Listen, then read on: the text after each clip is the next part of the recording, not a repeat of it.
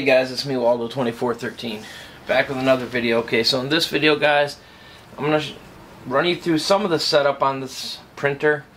What you have to do, I literally just got done putting this base plate on and screwing it on. It will only go on one direction. Um, just so you know that. Um, because if you turn it the other way it won't fit. So next is what I'm going to do and they have instructions in this, guys, but you want to follow everything to a T because if not, you could run into issues. Inks get set this way. The third one is this one, which is your white. And what you're going to do is that cable I just had, you are going to connect it. It will only go one way, so be careful push it in until it clicks. That's how you install that part. The next thing we're going to install are the air filters. That is these things, guys. They go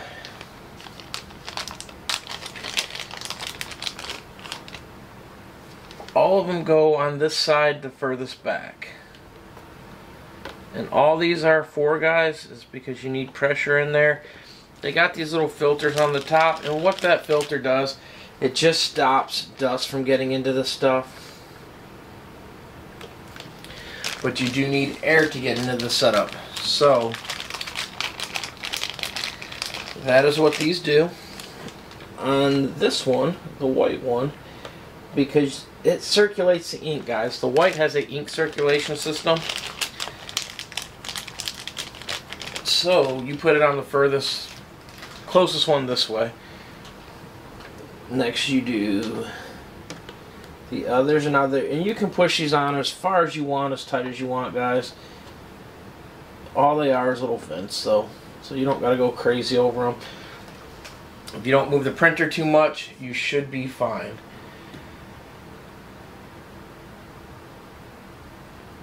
That is the air filter like I went over.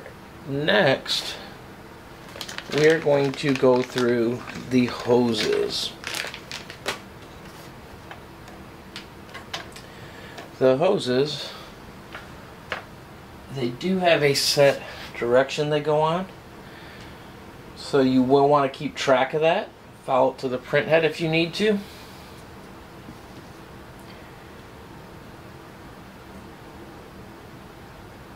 And kind of work your way through. Now, I'm going to pause it because I've got to get the directions on which one's which. I do know most of them, but I want to double check on the white, so I'll be right back.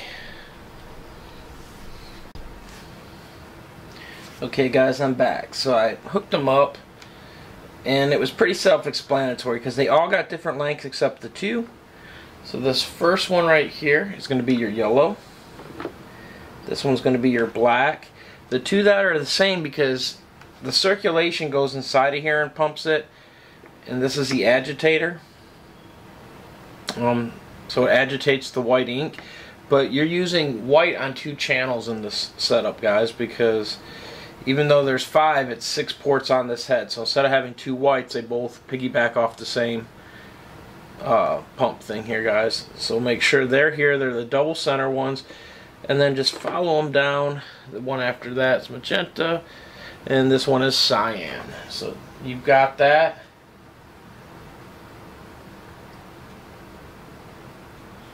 Make sure you've got your white ink set up guys. And then next you're going to fill them with ink. I purchased my ink guys so now we'll do that I'm probably going to do that off camera because I might reposition and set this somewhere else.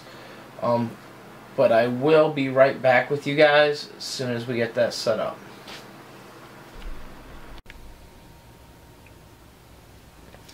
Okay guys, we're back. I relocated the printer to another spot. I'm going to probably relocate it after this again, but um, I'm just putting it right here for right now because um, you need kind of a big stand. So this first one is yellow, guys.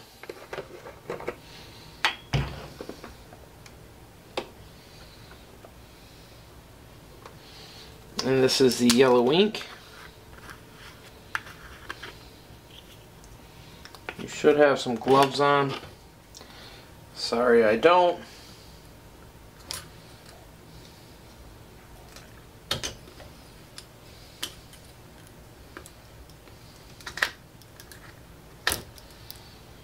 Remember it is a UV ink guys.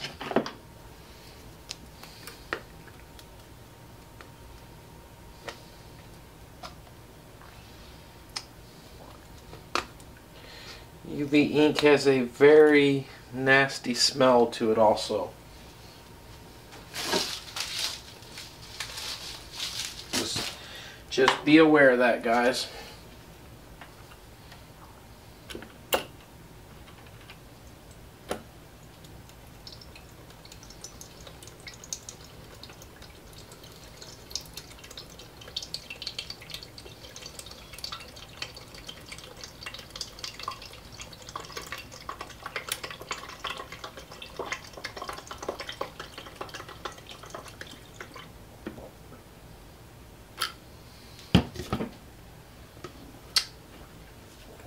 Probably, uh, it's hard to see in there, guys.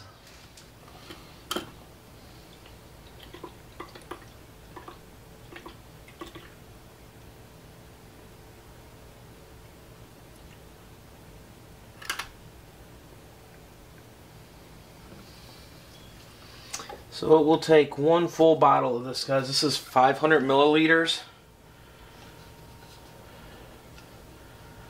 And so it takes 500 milliliters. Save the bottle because it's got the batch number and all that on it, guys. You might need it.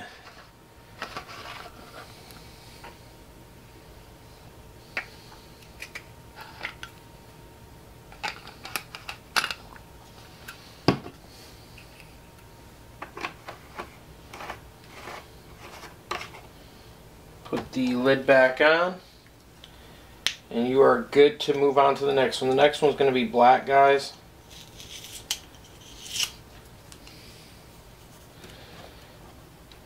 Didn't work. If you want to put the sticker or something on after, you can, guys. Um, they don't come labeled just because you can move them to any spot until it starts. So keep that in mind. Um, next is K, which is black. So we're going to do the same thing. Remember also guys, they don't give you inks with these. So you have to go buy your own inks. Um, just a little know-how about that or little info. So buy what brand you want. Um, I don't really have a preference because this is the first time doing UV ink. I did use one of my suppliers that I've used before for a lot of my other stuff though. So use who you want.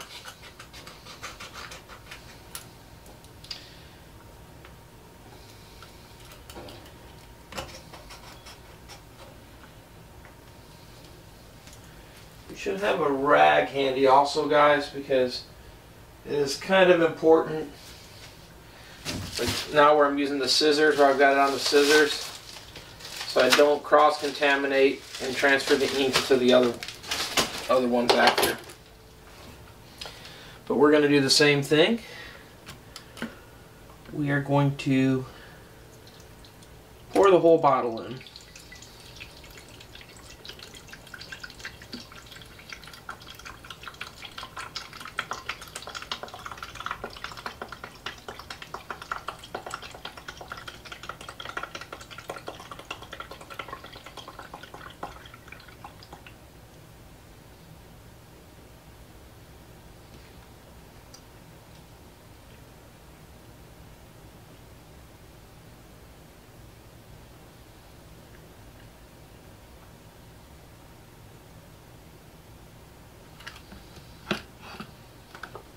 So that is the black, or K. Next is white. White is one of them colors that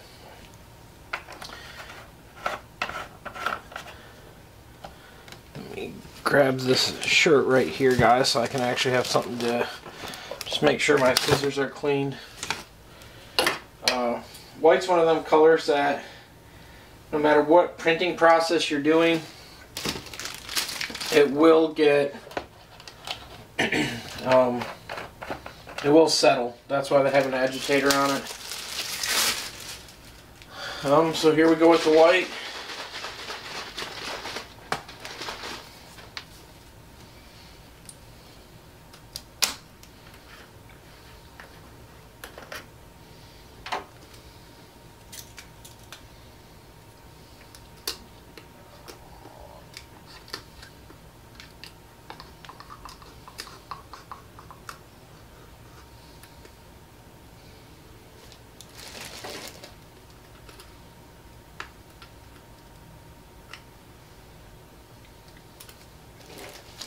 Sorry it's taking so long guys. I actually had a little piece hang up on here.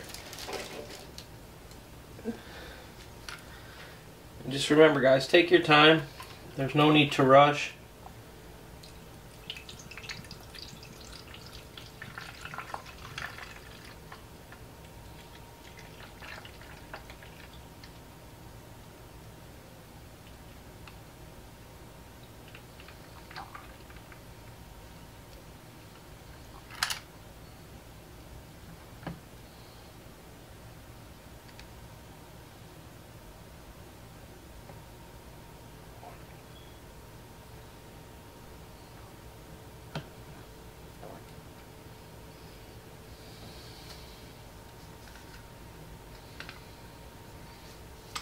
A little air in there, so. And the air came because I shook it up just a little bit to make sure I got all the the particles mixed up in the white. But in doing so it did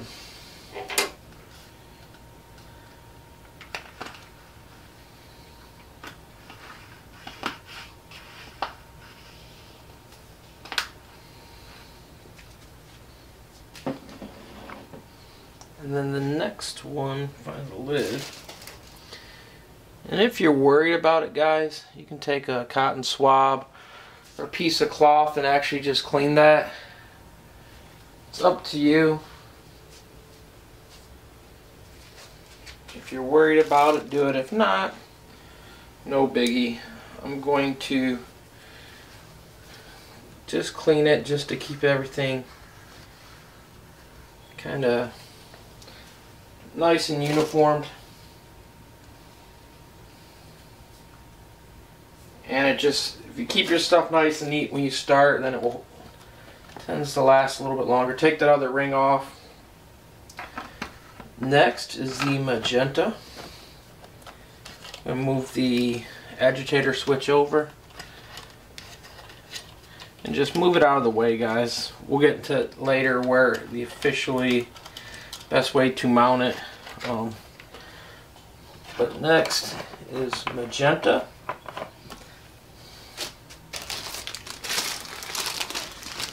We're gonna go with the magenta guys. Sorry it's a very long video guys. It's one of them things that takes a few minutes to pour ink. Ink doesn't just shoot out. So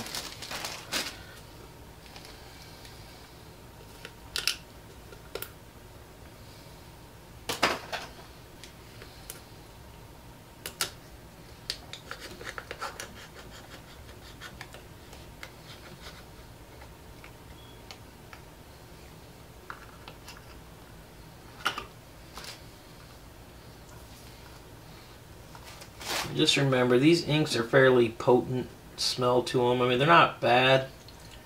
They're not as bad as solvent ink per se as a smell, but they definitely have a distinct smell, and that's just part of UV ink.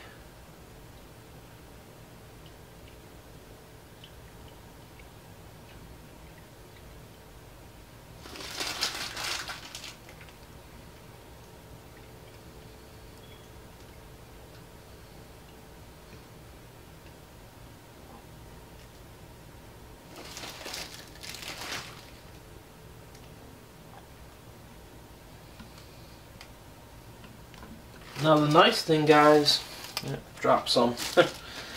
the nice thing about doing it this way and the way they suggest is for let's say some unknown reason you did just clean my mess up try to anyways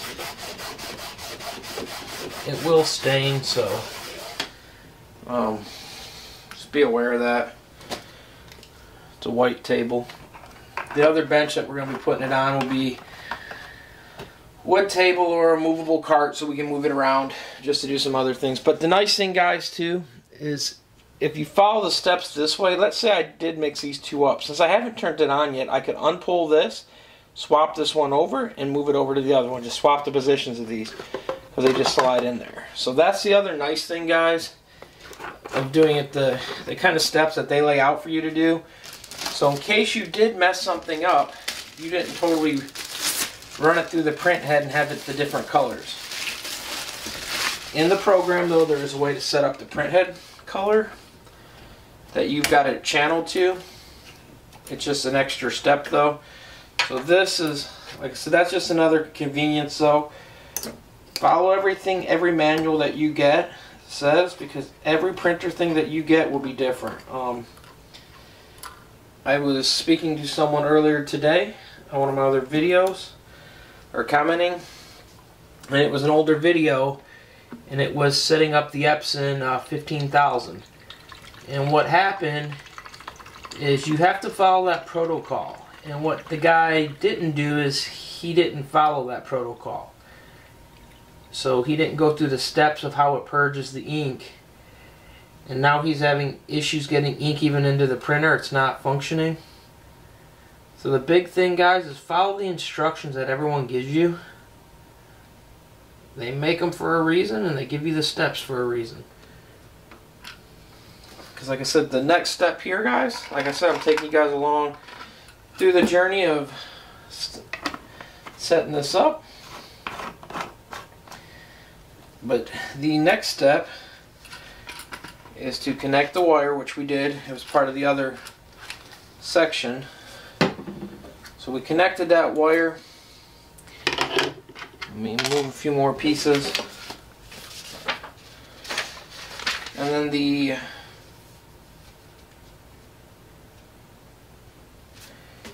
the next thing, which we put the the waste ink cartridge right here.